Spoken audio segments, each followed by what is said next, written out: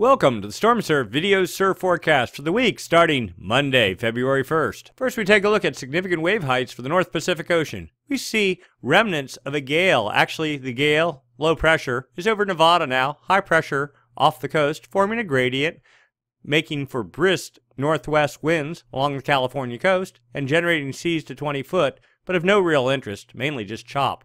Of way more interest is a storm developing with good winds just west of the date line, with seas in the 34 foot range and on the increase. Let's get into the details. We'll take a look at jet stream level winds. These winds help support gale formation, and when those gales do form, help direct their track. We're looking for a trough. That is a little dip in the jet stream. We see a little tiny dip right here uh, supported by an area of what is that, about 160 knot winds running flat off Japan across the dateline to a point almost north of Hawaii. This is actually the weakest the jet has been in a month or more, uh, but that won't last very long. Also, notice a split here in the jet. That is, there's a track or a branch of it going to the north, a branch going to the south, right here at about 150 west. This is key in that it is going to, if it persists, uh, reduce the amount of storm activity and therefore rain moving into the California coast and instead set up high pressure. The thought being that if this occurs, it's probably attributable to the inactive phase of the MJO, which is in control now. Let's get into the details. We'll roll through this. You see the jet quickly building here. What is that? 1, 2, 3, 4, 1, 2, 3, 170 knot winds building off Japan on Tuesday. A well-developed trough starting to form here. That support, supports counterclockwise flow aloft and down at the surface. That is the hallmark of low pressure and or storms and gales, and that's what, of course, what produces surf. Roll this out a little bit more. And the, draw, the trough kind of washes out some by Wednesday, but notice winds continue building here, and this is all driven by the uh, El Nino base state. Irrespective of the MJO, El Nino is in control globally, and, it, and where it shows or where it has its largest impact is in the jet stream, and then everything follows from the jet stream. If the jet stream's strong, storms are strong, and that dictates the storm track, etc., etc. Anyway, so we get into Wednesday. The jet stream just continues to build, looking more solid, almost 190 knot winds here. Notice the split still holding just about a little bit east of Hawaii, northeast of Hawaii. Roll this out, and there it is between this split jet stream flow that you get you get a, a clockwise circulation, high pressure, and that is what is going to take over in California here shortly. Anyway, but back to the to the west, jet stream remains strong broad kind of troughy pattern trying to set up. Again classic kind of el nino setup here. And then sure enough come uh, friday night 190 knot winds in the jet. New trough starts building. High pressure holds over california. We'll roll this out. Again a very good strong looking trough into saturday and then even more so, what is that? A uh, 200 knot winds falling into the trough, just providing more energy, agitating the atmosphere more into Sunday. And the beat just goes on. It just holds in this sort of semi-static pattern uh, for the next week, basically, high pressure and control. So, what that means is probably a light wind pattern along the U.S. West Coast, if not light offshores. Dry, unfortunately. Re- precipitation is good, but the snow base is great up in the Sierras, so that there is a little bit of a silver lining to everything for the moment. And the storm track just continues to look very solid. Let's go down to the surface. And here we are, surface level pressure, surface level winds, and as expected, high pressure here off the U.S. West Coast, 1032 millibars, that's fairly strong. And here you can see it, low pressure, weak, but still forms a good pressure gradient. Difference in pressure between the low pressure and the high pressure creates winds, that in, in this case is northwest winds, 30 knots per the 18Z uh, run of the model on Monday off the central California coast into southern California. And a basic look out the window tells you that, in fact, the ocean surface is quite agitated and ugly. Um, now, what this also shows clearly is a storm. And this is two shades of purple, 60 to 65 knot winds per the model. That's fairly strong. That imparts a lot of wind energy on into the ocean's surface and can create long period swell. We'll roll this out, and that system continues into this evening and even 60 knot winds till 10 o'clock uh, Pacific time. Uh, and then starts to fade out on Tuesday, but still 55 knot winds, fairly strong. Not a huge system, but fairly uh, persistent. Then it finally fades out uh, late Tuesday. Still remnants circulating in the Gulf. High pressure trying to hang. Notice a little bit of a front tries to wheel into central California here on Wednesday, and it succeeds. But then by Thursday, high pressure in control. Some flavor of an offshore flow is expected depending on where you are.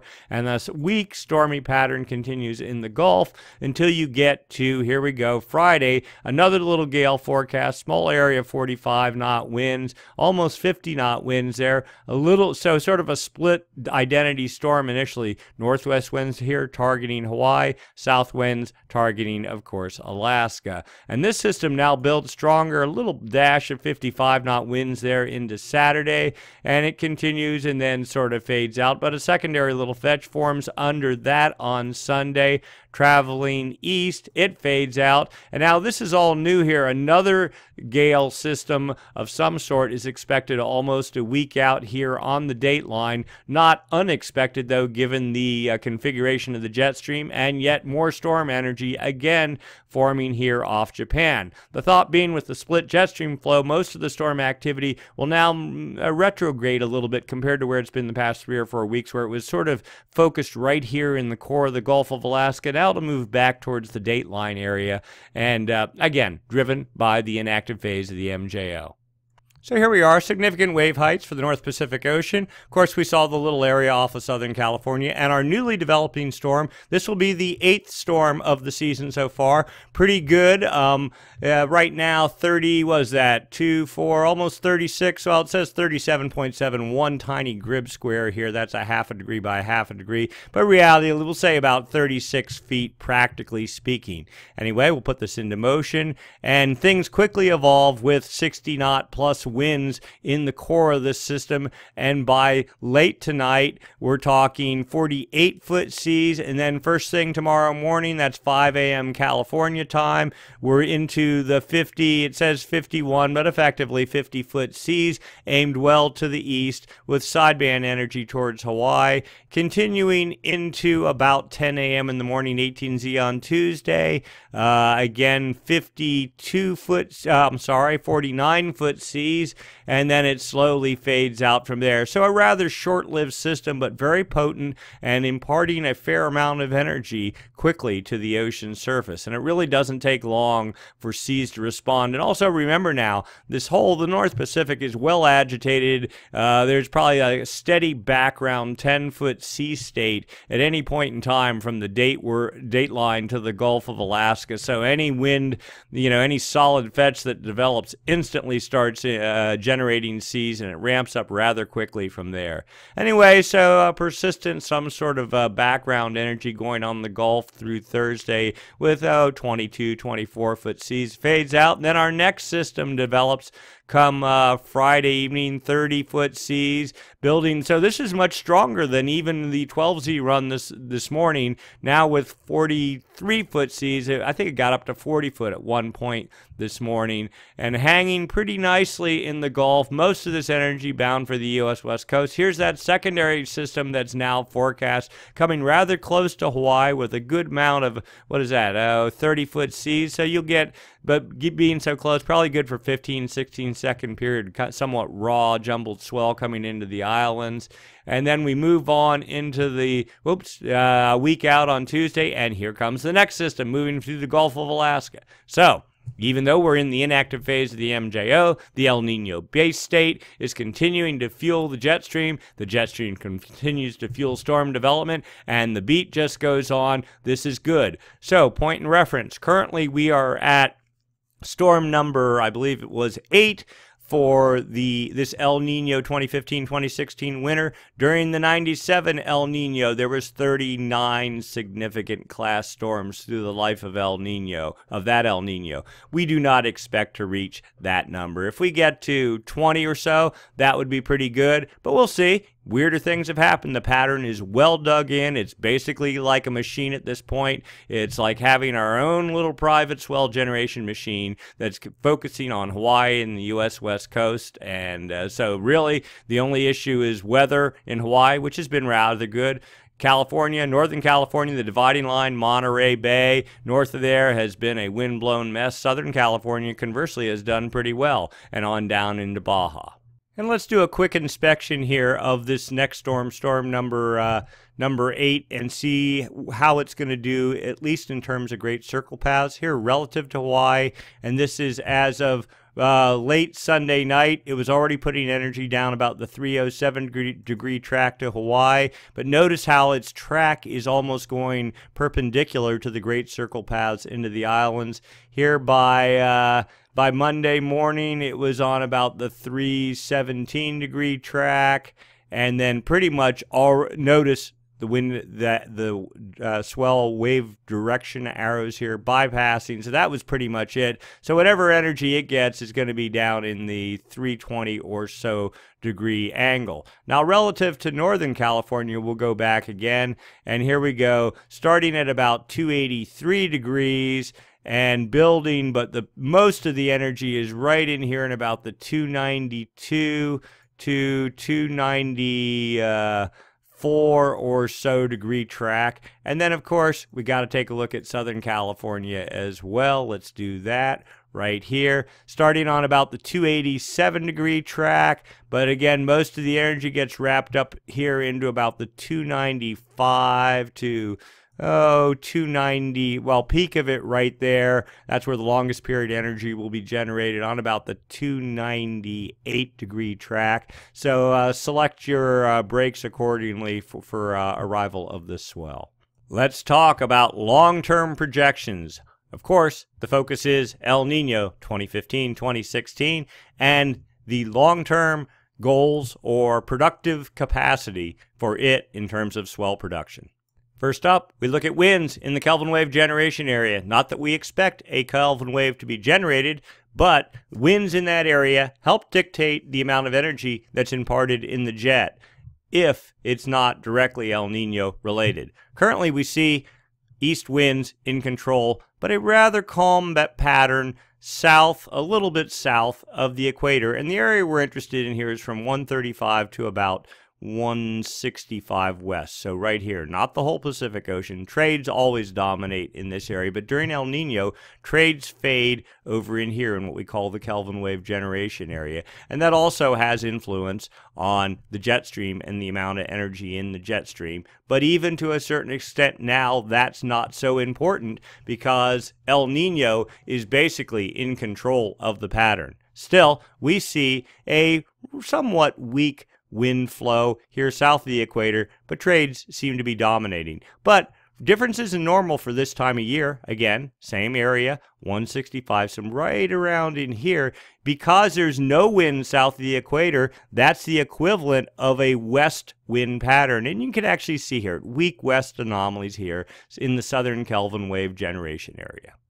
And here is the Kelvin wave generation area here. 5 north to 5 south from about 135 east out to the date line. It goes a little bit east of here, but this you get the general idea here. And you can see the current situa- setup here. Basically, a light wind pattern south of the equator on down to 5 south but trades in control in the uh, what is that about uh, 18 knot up to 18 knots in the northern half of the uh, Kelvin wave generation area. We'll just run this out real quick. This is actually the peak of these easterly anomalies, if you will. notice they work themselves the whole way down here, almost to the southern Kelvin wave generation area, through about Thursday, and then the pattern falls apart. And again, it turns into almost dead calm winds, the southern half of the Kelvin wave generation area, while trades, but much lighter, are in the northern half and even kind of backing off from there, which is a good thing out for a week.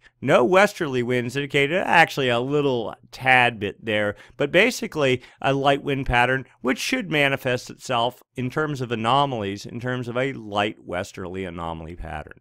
We'll go back a couple days to put things in perspective. The Kelvin wave generation area is this box. You can't see it, but we'll draw it here roughly about like that. And you can see sort of a, the reds are westerly anomalies, and you can kind of see it here. This is the 27th of January, 28th, 29th, 30th, just a very weak westerly anomaly pattern. Here's another way to look at past history. So the Kelvin, this is the whole globe going from west to east. Uh, the, the date line is right here. Kelvin wave generation area runs a line down about here It's to somewhere around, somewhere about right there. Major westerly wind burst occurred starting in late December uh, through the middle part of January. The reds are, and the, the whites or purples here are uh, westerly anomalies. The blues are easterly anomalies, but notice this is not in the Kelvin wave generation area. And so here we are. Here's where we are today. Very spotty, weak westerly anomalies since this big uh, uh, westerly wind burst in the mid-January timeframe petered out. And here's the forecast for the next week. I mean, basically nothing uh, compared to what we've been used to this year. But that's not unexpected. One, because we're in the inactive phase of the MJO. Normally, the MJO, at least the theory was, isn't even supposed to be in play during a strong El Nino, but clearly it is during this El Nino for whatever reason. And two, um, so it, so the uh, inactive phase sort of uh, mutes or, or has a what they call destructive interference with uh, El Nino, but not completely. Still, weak westerly anomalies are to persist for the next week. Now we take a look uh, at the MJO, and we said the inactive phase is in control, and you can see that pretty clear here. This is the statistic model. Now this is outgoing long wave radiation, not winds, but it's basically close to the same thing.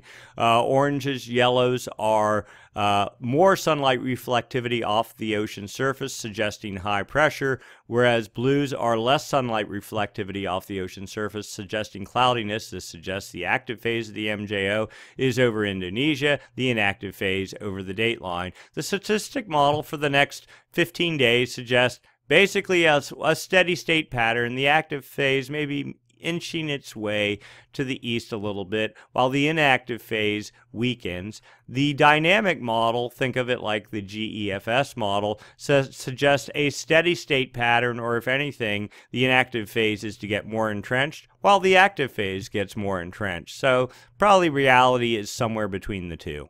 And yet another way to view where the active phase of the MJO is. This is uh, using uh, these phase diagrams, looking down from the top of the planet down towards the equator. Let's say we have uh, maritime continent, so uh, let's say the New Zealand area roughly here, Indonesia, to, moving to the West Pacific, moving across the Americas into the Atlantic, and then across Africa and into the Indian Ocean back that way around. And the uh, active phase of the MJO moves counterclockwise around this diagram. The further from the center you are, the stronger the active phase is. Currently, per the ECMF model, it suggests we are in a weak active phase over basically the maritime continent, so Indonesia roughly. This other model, the GEFS, says basically the same sort of thing. Now, the ECMF has the active phase moving into the West Pacific two weeks out. The GF, GEFS has it holding stationary.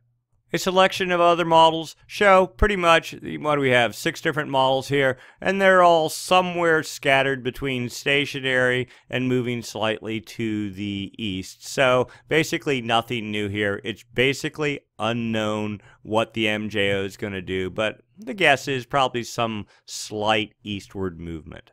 Now, our favorite model is the CFS version 2 model. It has done a very good job, this El Nino, of modeling what's happened and, well, of what's to come. So, in this chart here, here's what's happened. Reds and oranges are westerly wind bursts. Here's the date line running right up the middle of the chart. The Kelvin wave generation area runs, oh, somewhere along here to over and around here. Okay, we had a big westerly wind burst in October that generated Kelvin wave number four. We had an even bigger westerly wind burst, as we talked about, starting late December into January. That has created Kelvin wave number five. And now another westerly wind burst is forecast starting in the, oh, about the 20th of February on into middle of March, something like that and that is, let's add the MJO overlay. So you notice the two previous westerly wind bursts, this red solid line is the active phase of the MJO, active phase of the MJO. Notice west winds died out during the inactive phase. Currently, here we are in the inactive phase, and you can see the oranges, well, the yellows are barely there. So basically, we're going to have to suffer for about, eh, what is that? about two weeks, two and a half weeks. And then, and if the storm machine continues to be productive, as it actually looks like it's going to be, then even during the downtime, that doesn't mean the swell generation machine is going to back off. It will continue, but it will probably mean that precipitation into California will back off some. And then as we move into this period here with the active MJO, then the split jet stream that we've been talking about at 150 west will more energy will be imparted to the jet. It'll take that split point and move it closer to the California coast. The real hope is that from a precipitation standpoint that that split comes fully on shore and the storm door opens wide open with a deluge of water hitting the state. But given the westward displacement of this El Nino, we suspect the focus of the Jets activity is going to remain about where it's been, you know, with the split point oscillating somewhere between 135 west, about 600 miles off the coast, to out towards Hawaii. Um, but again, that's a guess. We'll see how this plays out. Anyway, so inactive phase expected to go into about the 23rd or 4th of February. Then the storm door uh, or enhancement of the storm door starts with westerly anomalies on that time to continue the whole way through, oh, maybe the second week in March, and then things back off. And then after that, well, we really don't know. Actually, this model was suggesting that another active phase would uh, occur in the April timeframe, but it's since backed off from that. So it's a long ways away. Who knows? Um, equatorial Rossby wave activity, there is some uh, suggestion that an uh, uh, equatorial Rossby wave is in play right now, at least per this model. But in terms of doing anything to support west wind production, not a whole lot. And again, our low pass filter here, which shows us the core of El Nino the peak of it here, according to this one little tiny peak right here around the the uh, Halloween time frame, and then it backed off only to rebuild a little bit right here in the January time frame, and now another pulse again uh, is uh, forecast again in parallel with the active phase of the MJO. So we've talked about westerly winds in the West Pacific and their relation to the Madden-Julian oscillation. And of course, westerly winds, if it wasn't so late in the ENSO cycle, they would take warm water that's normally pulled up here, push it off to the east. But we've had four Kelvin waves, and the fifth one, that is that Kelvin wave is when warm water that's here in the west gets pushed in batches or in a bundle off to the east. That's called a Kelvin wave. And uh, eventually, if you have enough Kelvin waves, you take the warm pool that's normally all over here in the West Pacific, it starts moving east. So here we go West Pacific here, East Pacific here, looking at depth down 200 meters. We clearly see a big pocket of what is this 29 degree Celsius. Um, water temperatures moving to the east, and it's pretty much locked. This is where it's been for a month or more now, about 140 west, with the 28 degree isotherm at 125 west. Uh, this speaks to the westward displacement of this El Nino. Not as much warm water as one would typically expect moving into the Galapagos and uh, uh, Ecuador. Anomalies, though, differences in normal for this time of year really shows the picture where normally warm water would be all pulled up here. It's now cool water, and that is making some more progress. And again, now back to the east at about 150, 145, something like that west. But we had that big westerly wind burst uh, that we had in the uh, early January timeframe has created yet another Kelvin wave. All these warm temperatures here, 4 and 5 degrees Celsius anomalies, were all gone. Actually, look at that, 6 degrees Celsius uh, mm, two weeks ago, and it, it has rebuilt nat nicely. So the Kelvin wave did find some warm water here at the surface and started driving it and is still driving it to the east forming yet another Kelvin wave. The expectation is this will make it to somewhere uh, somewhere west of the Galapagos, stall, and then start gurgling up to the surface, creating a surface warm pool here. That is the hallmark of El Nino. Here is a high-res version of that same uh, picture, clearly showing the cool pool. But what's really interesting here, this little pocket here is the last remnants of Kelvin wave number four.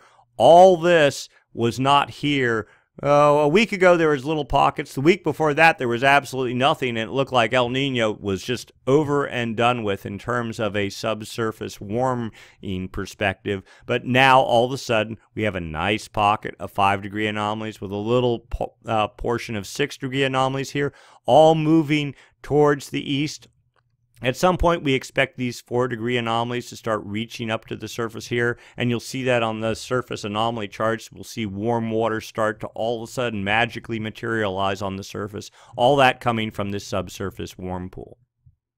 And here we go with sea surface height anomalies, differences in normal for this time of the year. And this is not temperatures, but strip out all the waves, strip, strip, strip out all the chop. Oh, Jason 2 satellite data here, and just see if there's a bulge on the ocean surface, and clearly there is 15 centimeter anomalies. This was much smaller, two little lobes at the last report last week. Now it's one good sized pocket. If we were to get some 20 centimeter anomalies here, that would be just too good to ask for, and we're not asking for it. We're impressed enough with this as it is. What this suggests is warm water at depth. Warm water at depth, of course, expands, and that pushes the surface upward. 15 centimeter uh, anomalies here, and it just, you know, this is pretty much back to where we were with Kelvin wave number four. So very solid indeed. And of course, our favorite chart, the upper ocean heat anomalies. Basically, it, it shows uh, over time what's going on subsurface, and these are pockets of warm water here. You can see this is literally a Kelvin wave from a westerly wind burst in the March timeframe of last year, 2015, working its way across Kelvin wave number two in the May-June timeframe, massive Kelvin wave number three in the August-September timeframe, even larger Kelvin wave number four that was in the uh, November-ish time frame because, and I say larger because one, two, three, 40 uh, um, um, degrees of width at any point in time across here, except when it started to fade out, of course. Very large. And now the real interesting thing here is Kelvin wave number five. We do not expect to see two and a half degree anomalies on this one, but who knows? Maybe we'll get lucky. But still, even two degree, two to two and a half degree anomalies here from 150 was a 10, 20, 30 uh, what is that about oh, about 32 degree uh, degrees in width. So eh, about 18 uh, almost 2000 nautical miles across. Pretty good for this late in the season. And this guy won't even erupt. We're going to just say a two month uh, eruption cycle. So because it's we do not expect it to make it to the Galap- uh, east of the Galapagos. So normally we'd say three months, but two months here. It'll start erupting somewhere uh, west of the Galapagos. Uh, that'd be the March 1st time frame. Uh, that would be impressive. So that's really going to help this El Nino hang on a little bit longer. So we've talked about westerly winds here in the Kelvin wave generation area over here that create Kelvin waves. Then those Kelvin waves, pocket of warm water, travels under the equator, making it, well, normally it would be in this area, but this year it's in this area. starts erupting around here, coming up to the surface. The trades, remember we saw that, start continue blow here. They take that warm water and push it off to the west and create a warm pool. And that's exactly what we see here as of January 31st, a two and a half degree averaged warm pool, roughly right here. This is class, pretty much classic El Nino, westward displaced classic El Nino, but certainly not Modoki El Nino. That if that were the case, it would just be way out here. This is just sort of a sort of a hybrid, if you will, but still very impressive nonetheless. So we'll go sector by sector. Here is the Nino 1.2 region, that area between the Galapagos and Ecuador. Here you'd normally expect to see a lot of warm water in here if this was a real classic El Nino. But as of February 1st, pretty much not a whole lot going on. One little pocket left at 2.25 degree anomalies, and even the 1.75s. I mean, most of this temperature is in about the one and a half degree range. Here's where we were a week ago, and you can see that pattern is just getting weaker. And the reality is, this has been going on for months. Nino 1.2 is not in play in this El Nino.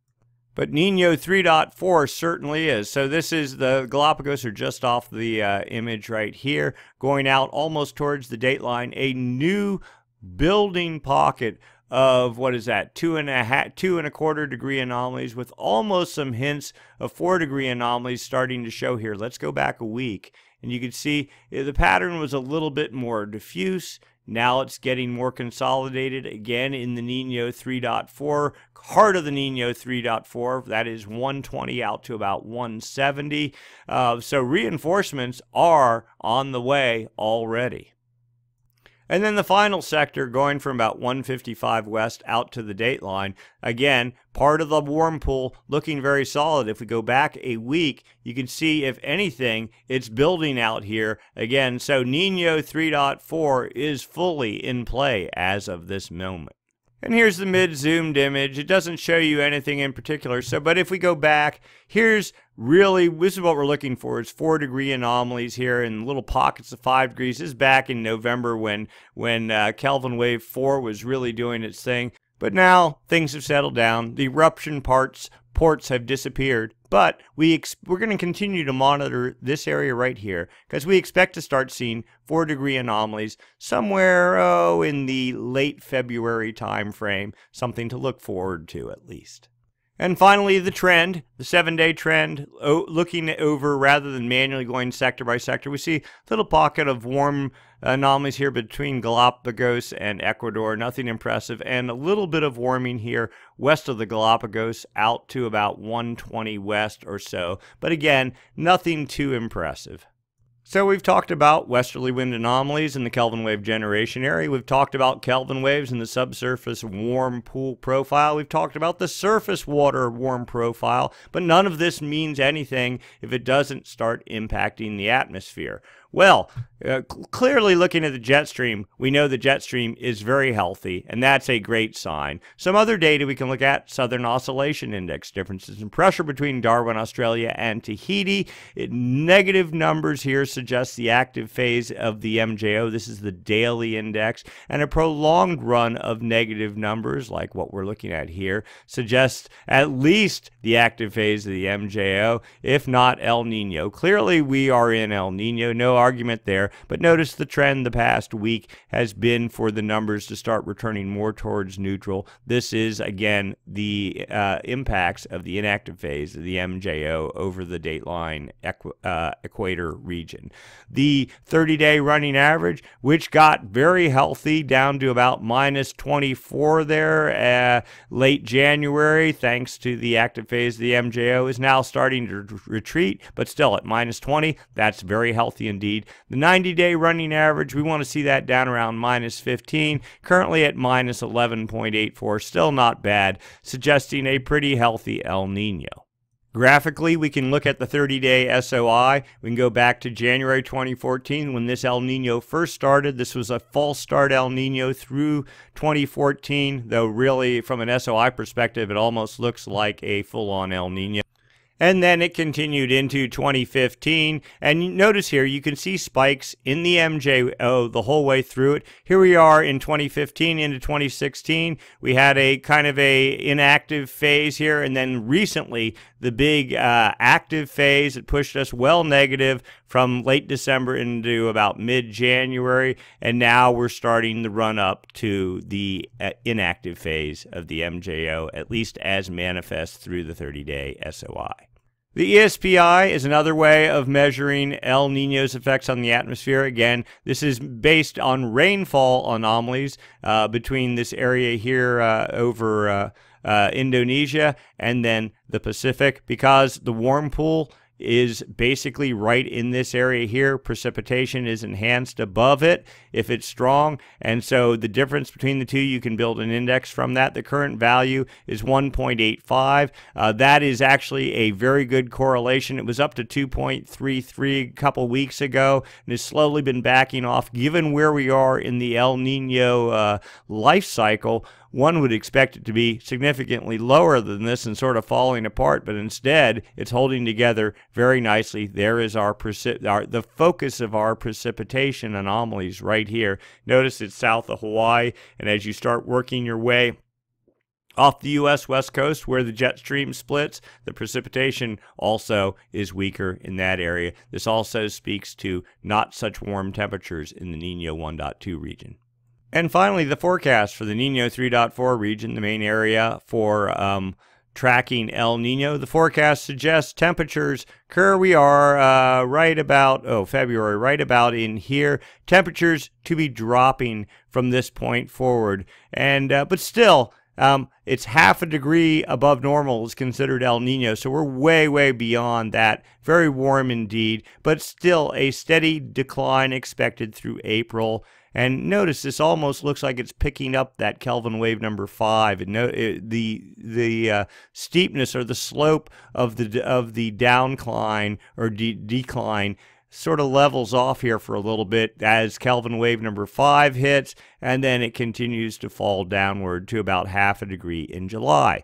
The interesting part about this, and this is from the CFS version 2 model, which is we consider a pretty good model and doing a good has a pretty good handle on this El Nino. Notice the upward trend as we move into fall. Now we don't believe that for a second, but it's a nice little tease. The expectation is you'd crash into a full-on La Nina after a strong or nearly a super El Nino, but this model isn't picking up on that, at least not yet. And real quickly, we forgot to do this earlier. The Nino 1.2, uh, just the trend for water temperatures, you can see it's kind of not real good 1.66 or 1.644 as of today uh, kind of toggling around not near where it was and even though at its best it wasn't uh, particularly warm but nino 3.4 today at 2.334 degrees right here down some from its big peak back here in the november time frame but still within eh, about three quarters of a degree of the peak, and this out in February and with another Kelvin wave on the way. Very impressive indeed. Much longevity to this El Nino, if maybe not explosive in terms of its uh, uh, development. It kind of meandered and took its sweet time going. And you know what? That's what's sort of been reflected in the jet stream. It took a while for the jet stream this year to get in key and tuned up, but now that it's in place, the storm uh, production machine is like a machine and doing very well. So to wrap this up, we have another storm, storm number eight, forming in the Gulf of Alaska. 60 knot winds, 50 foot seas again forecast. Split jet stream over the U.S. West Coast, courtesy of the inactive phase of the MJO. Maybe a little bit of a break in the weather pattern for the next two to three weeks, but then the expectation is rain will continue. Uh, the question is, where's the dividing line? Will it be uh, Monterey Bay northward, or will it be a little bit further south? Hard to tell, but maybe, maybe as we get deeper into El Nino, that line will travel a little bit further south. Good, healthy snowpack in the Sierra right now, looking very good. So we have some water reservoir there. More rain is needed, though, into the Golden State. Long term, active phase of the MJO is supposed to take over come about uh, the end of February, and then the storm track again will get a good little boost. So that's it for this week. We'll do it again next week, same time, same channel. Yeah, we say that every week, and we, we missed it by one day this week. Um, had to go get some snow, um, but again, we're going to try to stay on track and have this out Sunday night as usual of next week. Thanks for watching. Do it again, same time, same channel next week.